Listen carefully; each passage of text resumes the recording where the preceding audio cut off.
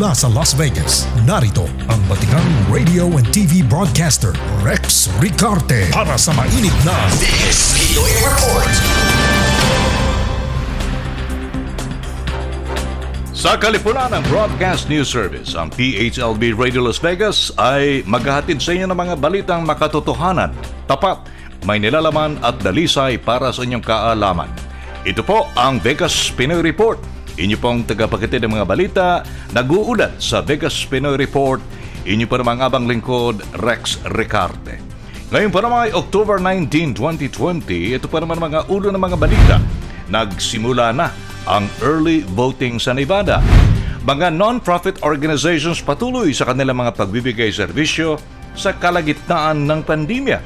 Silipin po natin ang food distribution na ginawa ng Asian Community Development Council. Balita mula sa Pilipinas, Miss Universe Philippines nakakasana sa darating na linggo.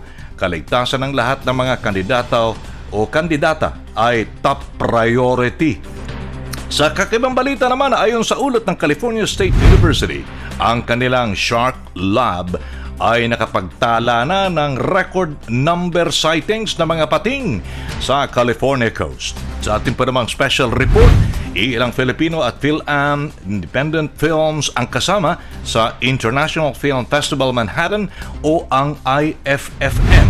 Ang mga ito ay i-anunsyo ni Luis Pedron, co-founder ng film festival na ito, sa kanyang bagong programang Get Real dito pa naman sa PHLD Radio Las Vegas. Ang mga detalye pa ng mga balita sa ilang saglit. This POA Report. Sa detalye po na ating mga balita sa Vegas Pinoy Report, ang general election sa buong United States ay sa darating na na November 3 pero nagsimula na ang early voting sa iba't ibang states kasama ang Nevada. Sa Nevada, ang early voting ay nagsimula noong nakaraang Sabado.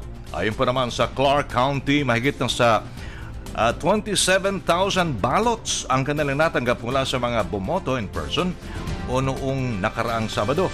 Ang uh, sa mga mail-in ballots naman, ayon sa Secretary of State Office, 67,000 ballots naman ang kanilang natanggap at uh, ito ay ang mga balotang ipinadala by mail o kaya naman ito ay mga drop-off ballots.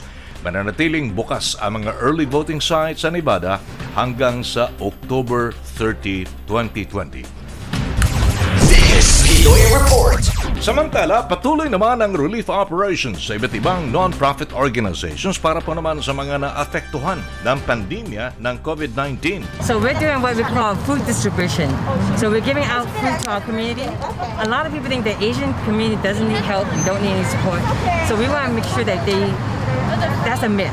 I mean, today, earlier today, from 8 in the morning, even though we started at 10, cars were lining up to pick up the food. So we were doing food, we were giving out dairy, we were giving out uh, produce, meat, to make sure that our families are taken care of. So the next one will be next week on October 25th. Uh, it's a Sunday from 10 to 1. At that one, we're also going to include the flu shot. So we're giving out free flu shot because we want to make sure our community is also protected and, stay healthy, right? So we also make sure that we remind people get out to vote, mail in your ballot, drop off your ballot, but make sure our voices are heard. And today, uh, we gave out over 300 uh, food out to families. We're going to be doing this again next week, and we'll have a third one. So we're going to tell you when the third one will be. So Awesome. we know that it's important. Inyo pong napanood at napakinggan si Vida Lin, President Founder ng ACDC.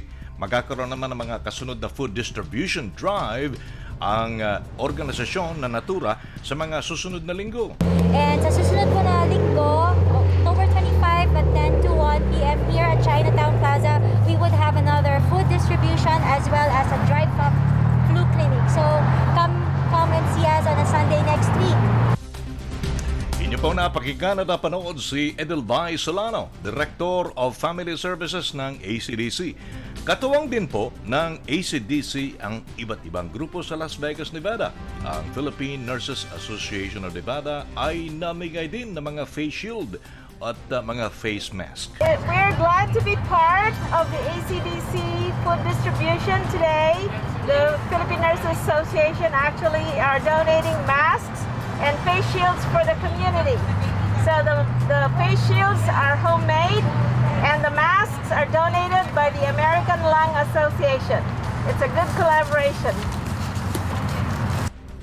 Inyo po napakinggan at napanood si Doris Bauer, presidente po naman ng PNA Nevada.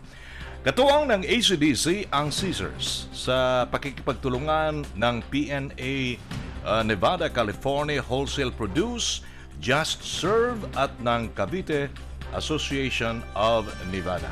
Kudos po sa lahat ng mga sponsors. This POA report. Balita mula sa Pilipinas, nakakasana ang Miss Universe Philippines sa darating na linggo, October 25. Ah, katulad ng iba't ibang pagtatanghal, ito ay gaganapin alinsunod sa mga guidelines ng Interagency Task Force Management of Emerging Infectious Diseases. Ang lahat ng mga kandidato o kandidata bilang Miss Universe Philippines ay sumasailalim sa swab testing sa St. Luke's Medical Center sa Makati. And uh, para masiguro po ang kaligtasan ng lahat, nauna nang naiulat na dalawang kandidata ang nag-pull out sa gaganaping kompetisyon dahil sila po ay nagkaroon ng COVID-19. Ayon sa kandidatang galing sa Sorsogon na si Maria Isabela Galeria, una niyang naramdaman ang mga sintomas ng COVID-19 noong September 27 kung saan agad-agad naman niyang o nagpa-test kaagad siya at nagpa-self-isolation. Kasunod naman ng mga nag-withdraw sa kompetisyon ay si Vinci Bacalares ng Cagayan de Oro City matapos mag-positive sa COVID-19 noong nakaraang Miyerkules. Ang Miss Universe Philippines ay gaganapin sa lungsod ng Baguio na ayon sa Miss Universe Philippines Organization ay isa pang COVID-free city ng Pilipinas. This report. Sa kakaibang balita po naman, ayon sa ulat ng California State University ang kanilang The Shark Lab ay nakapagtala ng record number sightings ng mga pating sa California coast. Ang laboratorio ay nagulat na 38 sharks ang kanilang natag ngayong taon. Ito ay mahigit sa triple ng kanilang bilang noong nakaraang taon na mataan ang mga sharks o mga pating na ito sa coastal area ng California simula sa San Diego hanggang sa Santa Barbara. Hindi pa rin may paliwanag ng laboratorio ang pagdami ng mga nakitang pating sa lugar na ito. Ayon pa naman sa California State University, karaniwang bumababa na sa baha ang mga pating pag lumalamig na ang tubig sa California coast pero hindi nila maintindihan ay kung bakit hanggang ngayon sa kalagitnaan na ng Oktubre ay nananatili pa rin ang mga pating na ito sa lugar na nabanggit. POA report. Po namang special report, nagsimula na sa PHLV Radio ang bagong palatuntunan ng tambalang Jeanette Marco at Luis Pedron ng New York City. Ang Get Real ay mapapakinggan at mapapanood sa PHLV Radio tuwing Martes ng alas 5 ng hapon. Sa kanilang maiden presentation, nagbigay ng informasyon ng tambalan tungkol sa gaganapin na International Film Festival Manhattan or IFFM kung saan si Ginoong Pedron ang co-founder at uh, festival director. Tampok sa presti prestiyosang film festival, very prestigious na film festival, ang ilang independent Filipino films. Filipinos will be part of the International Film Festival Manhattan. Feature film Latay, Battered Husband, Ralston, Ralston Hover is the director, starring Lovie Po, Alan Dizon, Snooki Serna, ang paborito mo, produced by Dennis Evangelista, Ferdy Lapus, and Mom Baby Go. Yun yung feature film na Filipino. Let's go to shorts. Wow. Maganda to, maraming mga baguhan, marami ring mga professional, pero halo-halo to mga short films na to. Suliak, The Glance, Director Jack Humawan. Sa apat na sulok, Scarlett Mendoza, which is like a pandemic uh, quarantine type of movie. Kulong, The Lockdown Story. Garbo, Pride, from, you know where Jensen is? General Santos City. Director Alan Filoteo. Oh yeah, somewhere in the south, no? Tuta, which is Lapdog, Nadine Estacio, students from Binild, and Celine Macani, directors. Filius Son, uh, directed by a student also, Justin Allen Caspulso. Uh-huh, no problem. Padayon, you know what Padayon means in Cebu? This is a Cebuano film. Means keep going. Padayon! Let's go! Uh, Padayon! Yesa from the artist Albert Chan Paran. Remember him? Biyahing Madilim, A Knight's Journey is from director Louis Ignacio, starring Terry Honor. Um, and of course, we have documentary films In Palayag Azulu's Story, Radem Morados, Magvlog by Ra Insaki from Tausug filmmaker Mijan Jomelon, and Kagitingan Valor. This is the um, um, military um, short film from First Lieutenant Balaram S. Tamayo.